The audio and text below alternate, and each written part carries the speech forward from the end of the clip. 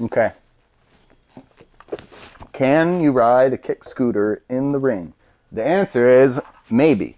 If you want to ride it in the rain, you should probably be confident that all your nuts and bolts are tight because there's a waterproofing uh, functionality worked into them. And if they're loose, water's going to get in there.